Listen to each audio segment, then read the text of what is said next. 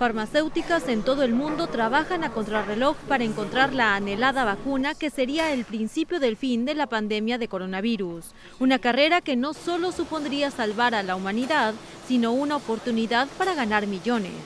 Sinovac, Pfizer, BioNTech, AstraZeneca y Moderna son las farmacéuticas que compiten por lograr la vacuna contra la coronavirus SARS-CoV-2. Y aunque todas ellas se han lanzado a anunciar la efectividad de sus productos en más de un 90%, a pesar de estar todavía en ensayos clínicos, la Organización Mundial de la Salud huye de la euforia y pide a la comunidad internacional que no escatime en prevención.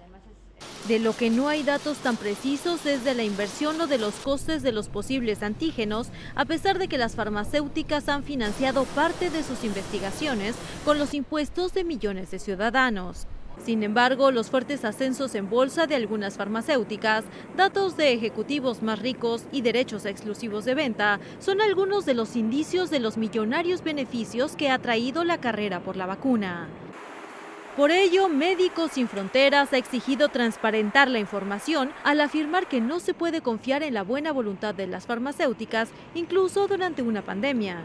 Pero no se trata solo de beneficios monetarios. Para países como China, el encontrar la vacuna en primer lugar sería una forma de mejorar su muy deteriorada imagen internacional tras ser el foco inicial de la pandemia mientras que para organizaciones como la propia OMS, liderar la distribución de la futura vacuna supondría aplacar meses de críticas que desde países como Estados Unidos hubo en el principio de la pandemia, cuando Washington acusó a la organización de estar dominada por Pekín y por ello haber respondido con lentitud a la emergencia sanitaria. Lo cierto es que tras su descubrimiento la gran amenaza será que los países ricos se dediquen a almacenar grandes cantidades de vacunas, olvidando a las naciones más pobres.